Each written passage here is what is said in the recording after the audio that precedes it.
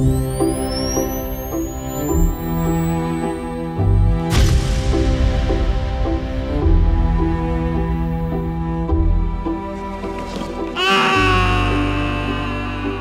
vriendschap is voor mij ook dat je op een hele jonge leeftijd vrienden wordt en eh, eigenlijk opgroeit samen of samen oud wordt.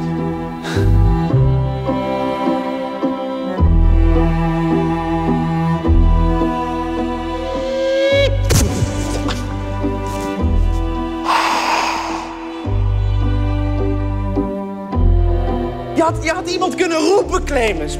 Misschien woonde er wel een arts aan het park, weet ik veel. Waar was je?